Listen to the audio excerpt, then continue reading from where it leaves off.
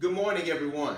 I send you greetings from the Hobbs household. We'd like to thank each and every one of you for tuning in this morning uh, to worship with us in spirit and in truth. Again, uh, we understand and recognize that here at the Eastside Church of Christ, we call this day Youth Sunday.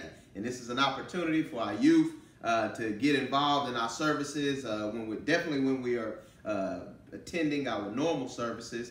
And so again, I'd like to thank the leadership just for that vision and the wherewithal and giving me this opportunity, as well as our minister, Brother Ben Foster. I'd like to thank him for giving me this opportunity as well uh, to be able to preach forth to you uh, the gospel of Jesus Christ. And also, uh, I'd like to thank uh, none other than my wife uh, for continuing to be by my side. Uh, you know, if I can just be half of the blessing to her that she's been to me, uh, I think that would be great. Uh, but it's very hard because she has really set the standard. Uh, but she always support me in everything that I do. So I like to thank my wife for all of her support and also my children as well. I like to thank my children for always being there and supporting their father. I know you want to get to the gospel today, so we're going to go ahead and uh, get straight on to the text. If you would, uh, if you have your Bibles, please turn to Ephesians chapter 6, and let's look at verses 1 and 2. Again, that's Ephesians chapter 6, and let's look at verses 1 and 2. And the Bible says, Children, obey your parents in the Lord, for this is right. Honor your father and mother, which is the first commandment with promise.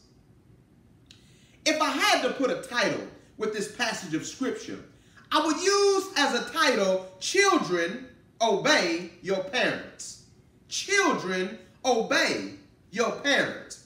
You see, as we look at this great text that God uh, revealed through the Apostle Paul, and he was able to pull out this uh, great commandment that God had even from the foundation of the world this great commandment of obedience. You see, I like that obedience because you see, there used to be a time that we lived in where the skill and the teaching of obedience in our children was atop of the priority list. But unfortunately, in these days and time, uh, there's not a lot of stressing on the skill of obedience uh, as it used to be. You see, in these times, we want our children to be all that they can be. And so in being all that they can be, uh, we want them to be able to be the best readers in the world. We want them to have the skills of spelling and writing and the academic education. We want them to have good grades, so we stress those things. We make those things very important. Not only that, we want them to get a really good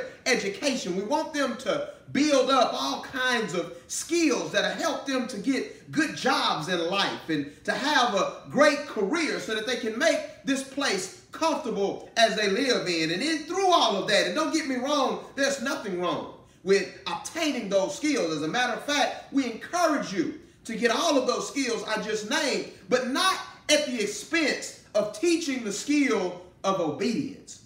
See, obedience is a skill that God had in his mind even from the foundation of the world. I think about way back in Genesis chapter 1. I can see God saying, let there be light, and it was so. God saying, let there be a vault between the waters to separate the water from the water, and it was so. God said, let the water under the sky be gathered to one place, and let dry ground appear, and it was so. God said, let the land produce vegetation, seed-bearing plants, and trees on the land that bear fruit with seed in it, according to their various kind, and it was so. God said, let there be light in the sky to separate day from night, and it was so. God said, let the water teem with living creatures, and let birds fly above the earth across the vault of the sky, and it was so. God said, let the land produce living creatures according to their kind. And it was so. God said, let us make man in our own image, male and female. And it was so. But as soon as God put his command on the human beings, that's when everything started to go left.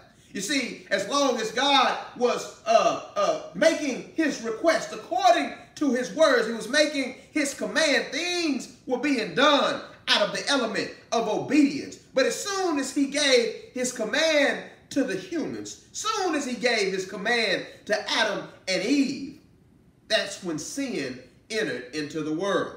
What are you talking about, uh, Brother Hobbs? Uh, you see, sin didn't enter the world through lack of education. A sin didn't enter the world through the inability to read, write, and spell. Sin didn't enter the world because they didn't have the necessary skills to do a job or be popular or anything. Sin entered the world due to their disobedience. You see, Adam and Eve was disobedient. They allowed Satan to infiltrate their brain and be disobedient to God. Therefore, sin entered the world. And I stop by here to tell you, uh, I don't care what's going on. I tell you the, the reason behind every uh, discourse and the reason behind every uh, bad situation usually results in some form of fashion of some disobedience when it comes to God's word.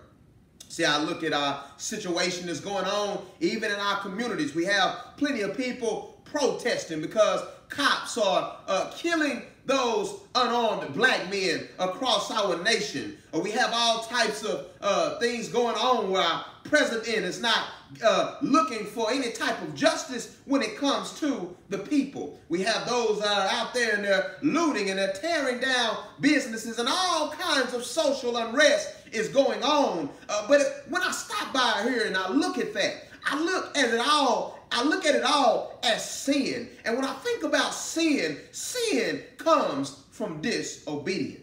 So no wonder why one of the first commandment that God wanted to give the youth was to, for children to obey their parents. So as we move into our text, I want to look at our text and I want to break down every single word so that our youth can understand exactly what this means. It says, children, obey your parents. Children, obey your parents. See, obeying sounds very simple to do, but it's actually pretty hard, it seems to be, in context. Because the thing is, is that uh, for some reason, uh, we have some type of uh, a spirit in us of disobedience. We have some type of spirit within us that just naturally wants to go against whatever the authority puts out to us. Uh, like, I'll give you an example. Sometimes I can have my children, they wouldn't even be thinking about uh, doing something. But as soon as I say, don't do it, or don't do this, and don't do, or don't do that, uh, they automatically start thinking about why shouldn't they do this or why shouldn't they do that? And sometimes that curiosity leads them to be disobedient to their father. You see, probably if I would have never said anything, they probably would have never had a thought to even do uh, whatever it is. But for some reason, there's just that element of disobedience in us all. And so I stopped by here to tell you that God is trying to get you to understand, young people, to be obedient. See, I want you to look at who you are commanded to obey. It didn't say children obey your aunts or children obey your uncles or children obey your teachers, even though you should obey them. But I want you to understand the commands of the Bible. It says, uh, children obey your parents. You see, parents was put in this particular text because the parents are important to God. Let me show you how important the parents are to God. The parents are the in-between between God and children. You see, God understands that children may not always understand uh, the concept of religion. Children may not always understand the concept and the, and, and, and, the, and the commandments of God especially from a young age. And so that's why uh, God puts parents right there in the gap because God knows that if the children can come up and learn that skill of obedience to their parents, they have a really good chance of obeying the word of God. And so God expects those parents, and even though this is not a, a, a parent forum here, uh, God expects those parents to train their children and bring their children up in the nurture and ammunition of the Lord. But as it relates to the youth, as your parents are training you and giving you knowledge and doing everything they can uh, to, to make you successful spiritually and physically, God is asking you young folks to obey your parents. I want you to understand that your parents are like stewards uh, to God. You see, your parents, uh, if you look at it and think of it like this, your parents was lent, uh, uh, God lent you to your parents. You see, your parents don't own you forever. You see, it's God that is your ultimate father. And so God has given you a special role to your parents. It's no accident that your parents are who they are. You see, it's not by chance. God gave you to your parents for a specific reason. And so we want to understand that uh, God looks at that parent-child relationship as a very nurturing relationship because it's the very beginning of God uh, getting you to understand how to be obedient. And when you can be obedient, we know that obedience can lead you unto salvation. The Bible says, children, obey your parents. But watch this. It has uh, some limits to it. Uh, you don't have to obey your parents in every situation. It says, children, obey your parents in the Lord. See, I know that some of you youth, y'all got happy when you said it, uh, when you heard me say, you don't have to obey your parents all the time. Well, actually you do, but only when it's in the Lord. Now, what do you mean by that, Brother Hobbs? Uh, you know, not everyone have spiritual fam uh, families of spiritual parents that are trying to teach them the things of God.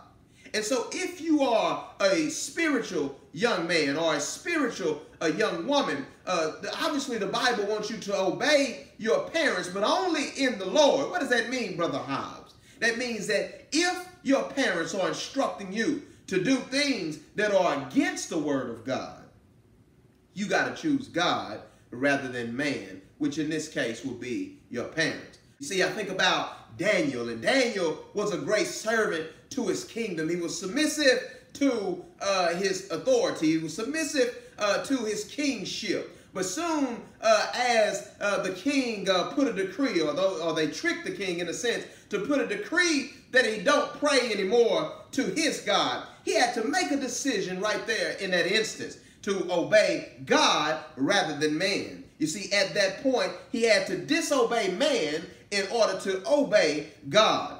And that's the same thing with children. If, if your parents are giving you commands that are against the word of God, you see, God won't hold it to your account if you're disobedient to your parents if it's not in the Lord.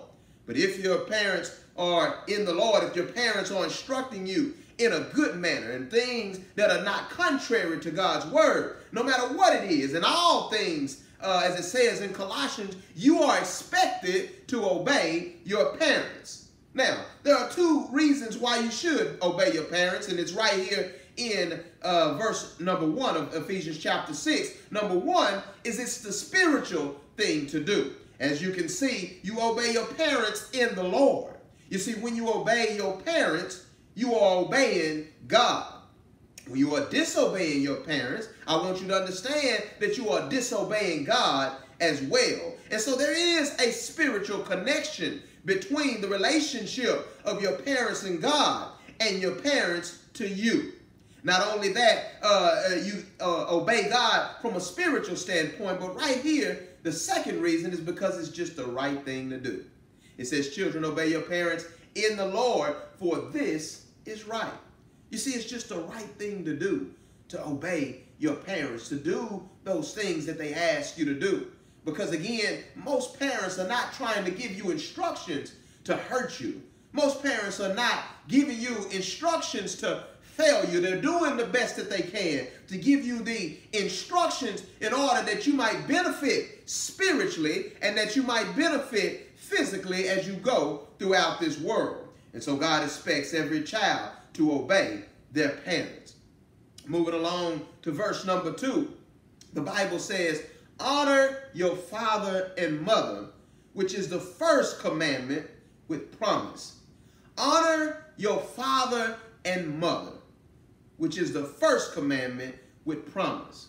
You see, when I think about that honor word, that, that, that word honor comes from the Greek word temaio, uh, and basically what that word means is it, li it literally means to set a price or a value. But when we translate that word over to the English language, uh, that word for us means to make value, to make valuable, to esteem very highly, uh, to, to, to, to give the utmost respect.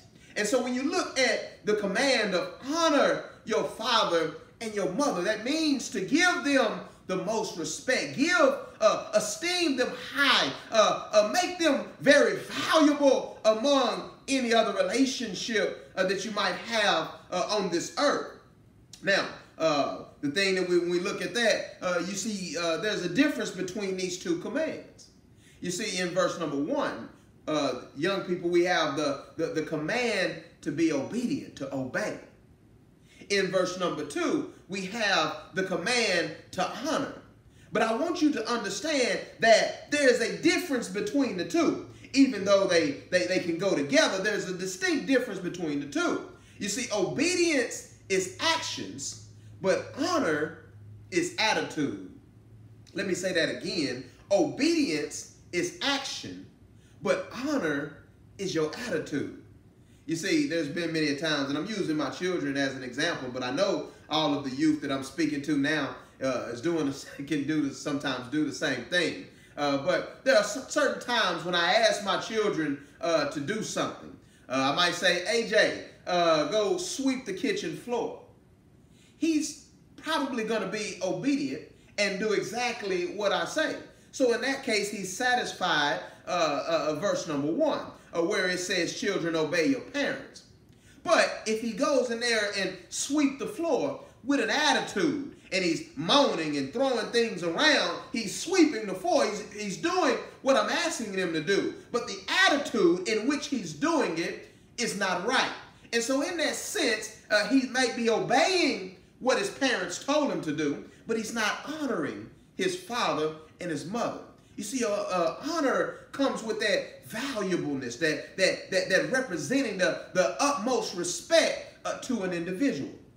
And so when we think about uh, that honoring factor, we have to make sure uh, young people, and not just young people, young and old, that if God has given us parents, we have a duty and a command to make sure that we honor our mother and our father. You see, even if you're married, and, and, and see Ephesians chapter 5, verse number 31, uh, uh, ex excludes married people uh, from that necessarily that obedience factor. Ephesians 5:31 says, "For this reason, a man shall leave his father and mother, and shall be joined to his wife, and the two shall become one flesh." You see, they leave their mother and father and when they marry, uh, they leave their mother, so they might be exempt from the necessarily obeying uh, command, but they're never exempt from the honoring of their mother and father. So uh, honoring the mother and father applies to those of all ages. All of those, all of us are expected to honor our mother and father, and that is a lifelong command. But when you honor your mother and father, you still have a sense of obedience, especially if they're giving you advice and counsel in the Lord.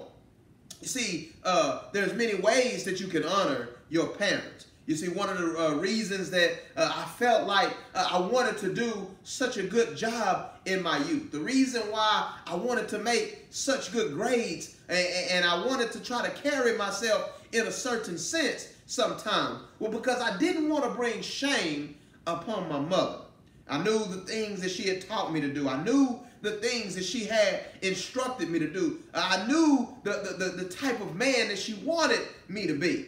And I didn't want to embarrass her. I wanted to bring honor to her name. I wanted to do things great so that it can show uh, the world that she's doing a great job as a mother. I wanted to esteem her very highly for all of the work uh, that she did and all of the effort in not only raising me, but all of my siblings. And so you can honor your parents by the way that you treat them. You can honor your parents with the uh, with the great attitude uh, when it comes to their commands that they give you and obeying what they ask you to do. But another thing is you can honor your mother and your father by the way that you live. You honor them by the way that you live. You see, like I said earlier, I didn't want to get in a lot of trouble. I didn't want to uh, get in trouble because I knew that any trouble that got back to my mom, not only was I going to get disciplined, but the biggest thing that hurt me was that I brought dishonor to my mother. And by bringing dishonor to my mother, I'm also dishonoring God and I'm also dishonoring myself. The Bible says, honor your father and your mother. This is a lifelong commitment. And I can just see some of you thinking, well, hey, Brother Hobbs, uh, what if I don't have good parents? What if my parents are not what they are supposed to be? Uh, what if I have parents that are absent and parents that are not doing what God has asked them to do. I stopped by here to tell you, you are still, you're still expected by the command of the Bible to honor your mother and your father. Let me give you a personal example and share a personal uh, testimony. And many of you that know me already know my story, but I want to, uh, the young people to understand that these commands are not necessarily based on what type of parents you have or ranking your parents as good parents or spiritual parents. No matter if you have spiritual parents or parents that are not spiritual or parents that are teaching and parents that are not teaching, you are still commanded to obey them in the Lord, and you're still commanded to honor your father and your mother. You see, we don't get a pass when it comes to the honor of our mother and our father. And so as I share this story, you see, I was a kid that came up, and I've always had my mom, but my father was absent from the picture. My father was absent from the home a majority of my lifetime. You see, when I think about the things that meant something to me, I was very, very deep in sports, but my father was never able to attend a game. And still sometimes that can even mentally affect me to this day. Or when you think back on those times when other kids had their fathers in the stands and all I wanted was for my dad to be there to watch those games. And as I grew up, I could have held a grudge against him because he didn't teach me how to play a sport that I love. I could have held a grudge and blamed my father for not being there, which is the reason why I don't know how to fix cars and deal with cars to this day. I could have blamed my father for my uh, lack of ability. I could have blamed my father for my lack of skills. I could have blamed my father for the things and the deficiencies that I have in my life.